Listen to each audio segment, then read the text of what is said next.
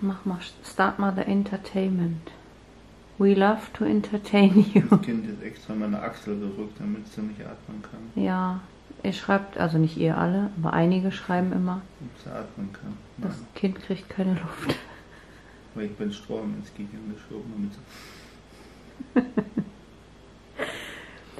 Ja, als ob wir unser Kind hier Ja. ersticken lassen. Egal, guten Morgen, ihr Lieben. Guten Morgen. Es ist ganz früh für unsere Verhältnisse. Der Staubsauger ist noch nicht mal gelaufen. Hier unser Für mich ist schon spät. Roboter. Für Bernd ist schon spät, der ist ich schon. wieder zart geweckt um kurz vor sechs. Ja, vom Smurf the Bird. Mhm, Der wollte raus. Aber wir waren gestern auch, wann waren wir im Bett? 8 Uhr. Hm, Viertel vor acht. Viertel vor acht, da haben die Smurfy und Bernd schon geschlafen. Ganz früh. Mola und ich noch nicht. Wir haben noch ein bisschen gespielt. Von Etty den ganzen Tag zu essen. Ja, der hat jetzt gefrühstückt und schläft das Smurfy. Bernd hat schon den Kamin angemacht, der hat schon Kaffee gekocht, ich war duschen, jetzt kuschelt er mit Molly. Ähm, ja, und ich hatte Wäsche mitgebracht, runtergebracht. Die muss ich nämlich, genau, das wollte ich jetzt machen. Die Wäsche schon mal sortieren in unsere Kisten. Denn sonst gibt es bald nichts mehr zum Anziehen. Das ist dreckige Wäsche, das ist saubere Wäsche und die dreckige Wäsche sortiere ich jetzt in unser super Farbsortierungssystem ein. Von Ikea sind die Kisten. Holt euch die auch, wenn ihr noch nach einem System sucht, eure Wäsche zu sortieren.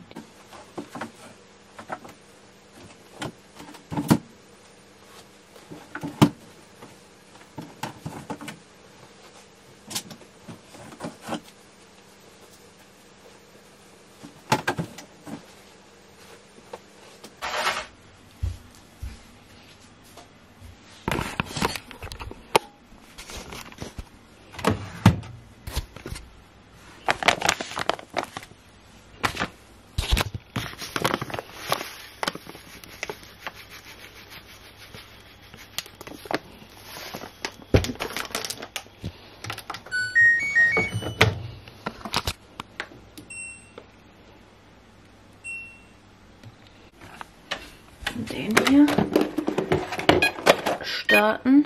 Das ist leer. Das morgendliche Ritual. Los, Staubi. Staub. Einmal hier aus. So, genau. Kamin brennt schon und die Maus wartet hier für unser tägliches Ritual nach dem Stillen. Was ist unser tägliches Ritual nach dem Stillen? Willst du das erzählen? Erzählst du das mal im Vlog? Ja? Was ist unser tägliches Ritual? Spielen! Auf dem Sofa spielen, rumblödeln. Ne? Das machen wir immer. Und dann, dann muss ich hier saugen. Ne? Jeden Tag sauge ich unser Sofa ab. Und du schaust mir dabei zu. Ja? Dann holt die Mama jetzt den Sauger?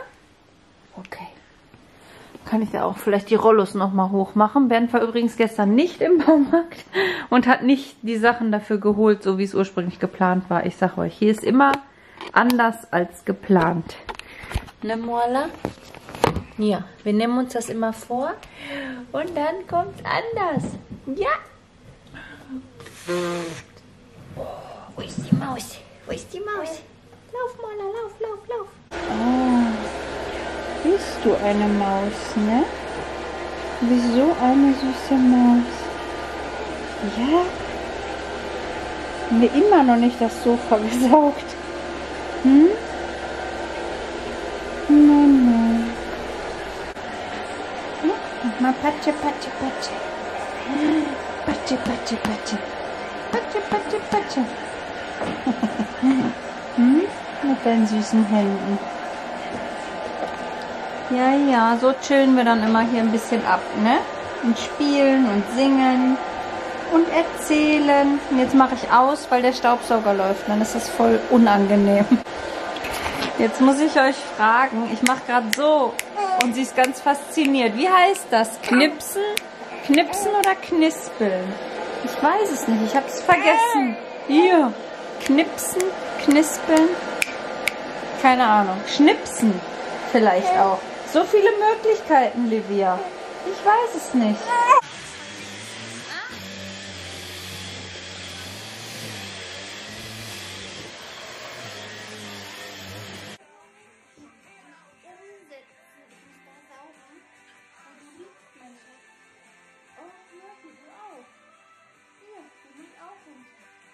Jetzt guck mal, wie er sich gar nicht stören lässt vom Staubsaugen. Interessiert ihn überhaupt nicht, solange man ihn nicht an, anguckt.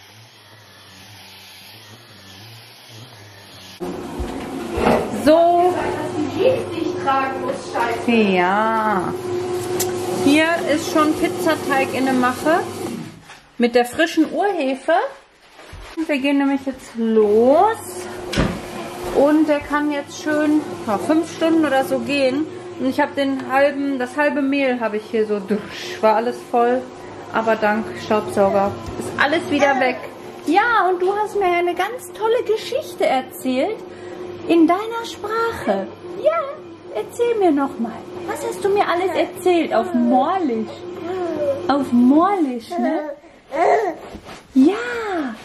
Ja, und du strampelst ganz doll. Lieben, wir sind zurück von unserem riesigen Spaziergang. Wir waren voll lange unterwegs, haben den Bert besucht. Meine Schwiegereltern waren da, wir haben Kuchen gegessen, gequasselt und sowas alles. Und jetzt bereite ich hier die Pizza vor. Ich habe ja den Pizzateig schon lange, lange aufgesetzt. Und ich hatte diesmal frische Hefe genommen, nicht Trockenhefe. Und das war schon gerade richtig schön aufgegangen bis hier. Und dann hatte ich den nochmal nur auf Kneten gerade gemacht, dass er nochmal durchknetet. Jetzt kann er nochmal eine Stunde gehen. Genau. Und dann habe ich hier für den Bernd der möchte gerne Gyros auf seine Pizza haben. Da habe ich Sojaschnitzel aufgekocht. Das ist halt einfach so, das ist einfach Soja in Form von Schnitzeln in Wasser aufgekocht. Nur einmal aufkochen, ausmachen, abkühlen oder halt mit kaltem Wasser abspülen. Dann bringe ich die richtig, richtig aus. So zwischen den Händen so. Und dann kommen die hier rein. Das sind Tiefkühlzwiebeln, Tiefkühlknoblauch, Tiefkühl Convenience Food, my best friend. Und Gyros-Gewürz, wir nehmen das aus der Metro, weil wir halt echt viel davon benutzen. Also wir essen halt oft diese Schnitzel und da kommt echt viel rein. Da sind schon zwei Esslöffel drin, weil die sind recht geschmacklos so an sich. Deswegen kommt da sehr viel Gewürz rein. Und dann habe ich hier noch vorbereitet alles, was wir so drauf haben möchten. Ich mache mir ja immer PP, perverse Pizza. Ich nehme Pizza mit Banane, ich nehme da Ananas mit drauf. Schreibt mir mal in die Kommentare, ob ihr sowas auch mögt. Ja, dann Käsesorten verschiedene. Da haben wir so mittelscharfe Peperoni, zwei verschiedene Tomatensoßen. Hm, ich mag am liebsten diese hier vom Lidl. Die ist so mit Gemüse total lecker. Und Calvino und Bernd nehmen gerne diese normale Tomatensoße. Dann Oliven.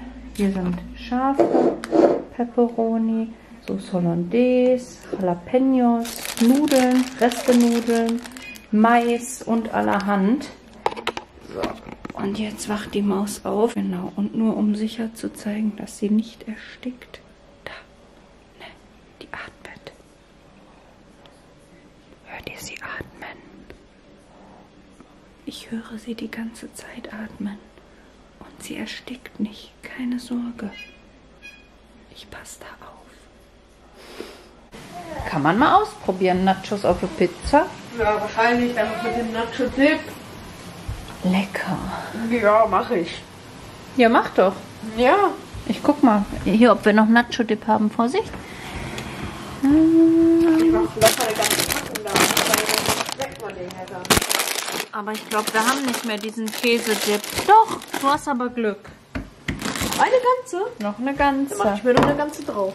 Ja. Mach das. Wir haben, warte mal, haben wir noch Käse-Nachos? Nee, ne? Nee, wir haben nur diese Chili-Nuggets. Nicht Nuggets. Chili-Nachos. Oh, das ist so schade. Also, was machst du dir alles drauf auf die Pizza? Nacho-Dip, Ja, Nacho-Käse-Dip. Nudeln, Was für Nudeln haben wir da? Penne. Mm, ja. Und Sauce Hollandaise. Mm, Soße Hollandaise und das? Ja. Wow. Ähm, Mais. Äh, und, äh, das war's, glaube ich, auch schon. Was nimmst du auf deine Pizza, Morli? Milch. Milch. Milch? Soll ich Und Käse machen? Reiskorn. Ein Reiskorn. Einmal habe ich gegessen und die Maus lag auf diesem Stillkissen unter mir und ich Also Reis ist halt runtergefallen und Calvino sagt, ein Reiskorn ist bei ihr im Mund gefallen. Hast du ein Reiskorn gegessen? Ja? Hast du denn gegessen? Gelutscht? welche, dass es sehr ungesund ist, wir zum Arzt damit gehen. Das ist ja schon, wie lange ist das her? Vier Wochen? Ich glaube gar nicht, dass du das gegessen hast. Nein. Nein. Und hier ist das Gyros am Brutzeln. So, das ist meine PP, perverse Pizza. Ich habe Penne-Nudeln, Ananas, Kidneybohnen, Mais, Banane, Käse, Sauce Hollandaise, Tomatensoße. Da kommen jetzt noch Zwiebeln drauf. Ach, Oregano ist drauf. Und Knoblauch. Knoblauch ist ganz wichtig, Morli. Ja, lecker Knofi. Und das Ganze geht jetzt in den Backofen. Ich wollte eigentlich das auch noch drauf machen, das Gyros-Dings, aber habe ich nicht. Geht jetzt schön bei 250 Grad. Mittlere Schiene. Yum, yum, yum. Ach so, und eigentlich mache ich mir hier noch so... Wo sind sie? Die mache ich mir noch drauf. Aber wir essen das heute mit Tabasco. Brötchen haben, Calvino. Auf dem Blättchen, auf dem großen. Holst du mal bitte zwei Brötchen? Die sind im Eckbettschrank links. Nee, rechts, wenn du davor stehst. Links im Eckwertschrank, rechte Seite, linke Seite. Lecker, lecker, lecker. Lecker, lecker, schmecker. Das essen wir jetzt auf. Das essen wir jetzt auf. Und dann zaubern wir. Ich mache daraus Milch. Und du machst daraus Schlüpfer. Orangensaft. Ja. Curry. Curry-Tunke. Was hast du jetzt alles drauf? Käse mit Mais, Nudeln, Sauce Hollandaise, Käse. Tomatensoße, Käse Boah. ja. und Nachos. Paar. Nachos auch? Ja, Wow. aber nicht viele. Ja, lass dir schmecken. Was war das für ein Text, den du mir geschickt hast? War das eine Anspielung auf den Test, den du gemacht hast? Nein. Noch nicht schwanger. Tot. Was hast du alles drin in deiner Pizza? Pizza. Mais, mein Gyros gedünnt, Zwiebeln, Pepperoni, Käse, Tomaten ja, eine Tomatensoße, Käse, oder heute trocken. Furz, trocken. ja. Ja, wir haben noch hier Kräuterbutter, die der Bernd mal gemacht hat. Die war eingefroren. Können wir den Rand schön. Murphy-Lefze. Das ist Alsan, da ist auch im Kochbuch drin, glaube ich, das Rezept. Ja. Mhm.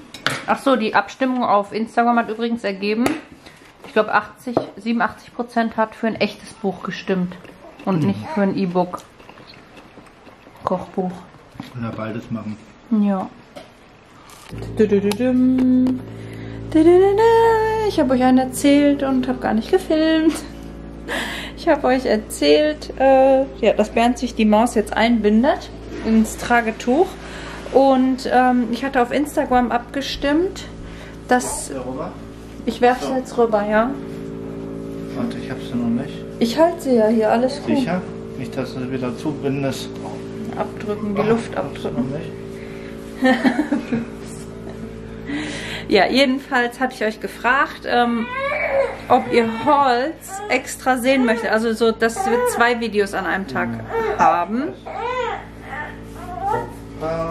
Das hatten wir jetzt ab und zu. Ich habe euch den H&M Haul separat gezeigt und den DM Haul separat gezeigt. Und Food Hauls möchtet ihr auch gerne zusätzlich sehen. Das machen wir. Machst du das hier, Mama, auf Pause da? Siehst du das noch mehr drunter? Das muss über sie. Ja, über sie. So. Ja.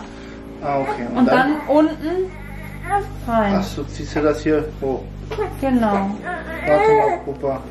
Genau, so und genau, jetzt wollte ich euch erzählen, wir machen, also haben schon eine Liste gemacht, teilweise für nächste Woche Großeinkauf, Wocheneinkauf, den zeige ich euch separat in einem Haul, aber der Bernd war heute Morgen auch einkaufen und hat ein paar Kleinigkeiten geholt, die wollte ich euch zeigen. Und zwar hat er ein paar Knoblauchsoßen geholt. Fokus, Fokus. Da, genau, von Knorr, vier Stück. Einmal Ananasstückchen, weil ich hatte jetzt die ja aufgegessen für unsere Pizza Pizza. Pizza Pizza. Pizza Pizza Pizza. genau. Dann gibt es dreimal Paprika, einmal Kohlrabi und einmal Radieschen. Das ist so zum Knabbern für uns, hauptsächlich fürs Frühstück. Morgen ist ja Sonntag, da gibt es ein großes Sonntagsfrühstück und deswegen, da knabbern wir gerne Gemüse bei. Und ich glaube, das sind nur noch Datteln. Das sind alles Datteln? Wow. Wir haben auch noch ganz viele Datteln, ne? waren jetzt im Angebot und halten waren ja. Okay, ja. Die, Das ist ein Dattelkönig aus. die Dattelkönig aus Datteln, genau. Wir haben für unseren Shake, da brauchen wir eine so eine Packung in der Woche ungefähr, ne? Nee, fünf Tage. Fünf Tage. Ja. Und die halten ja bis nächstes Jahr. Ja. Und die kosten genauso viel wie die halbe. War im Angebot. Normalerweise kostet halt 200 Gramm. 1,89 und das waren jetzt 400 Gramm für denselben Preis. Ja. Super. Und Ohne Steine auch, das ist immer ganz wichtig, weil sonst muss man die alle entsteinen. Genau. Ja, da haben wir nicht drauf geachtet. Und ich lege die immer im Wasser ein, die Datteln. Ähm, ja, und dann ist das halt voll das Gematsche, da die Steine morgens rauszuholen, wenn man noch so müde ist. Aber jetzt macht der Bernd ja immer den Shake. Der Shake-Beauftragte, seitdem die Morla da ist. So, ich räume die jetzt eben hier im HWR ein, die Datteln. Wo kommen die hier rein? Irgendwo. Ach, Smurfy. Musst du jetzt hier smurfen? Smurfy. Achtung. Soll ich dich mal waschen? Ja? Jetzt in die Waschmaschine. Er dreht durch. So. Ich schnell. Ja. Ich habe selber beide Hände voll. Nein. Doch. Kamera und das. Der dreht durch. Wo? Irgendwo sind hier schon da unten. Da unten sind schon Datteln. Da. Dann räume ich hier mal eben etwas um.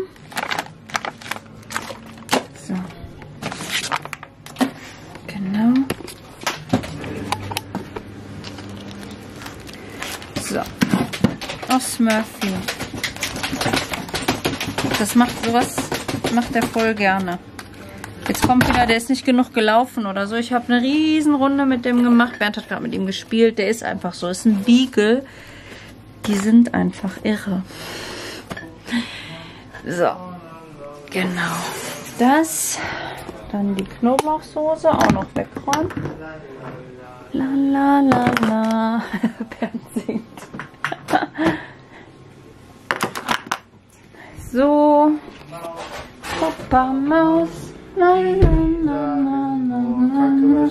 reden sie nur Mist und erzählen dir, was bist. Ja, Bernd guckt Fußball. Genau. Ja, ich räume jetzt hier mal weiter auf und melde mich dann gleich wieder. Mhm. Ich wollte nur noch den Vlog beenden. Ähm, ja, es war schön mit euch, aber jetzt ist Feierabend. Wir gehen jetzt nicht ins Bett, weil, also es ist noch hell, wir waren schon im Hellen im Bett auch. Ist jetzt nicht so, dass es ein Hindernis ist. Aber wir sind müde, wir machen uns jetzt Bett fertig ähm, und gehen einfach früh schlafen. Und vielen Dank fürs Zuschauen und wir sehen uns morgen bei unserem Sonntag. Das seht ihr dann am Montag. Bis morgen, tschüss.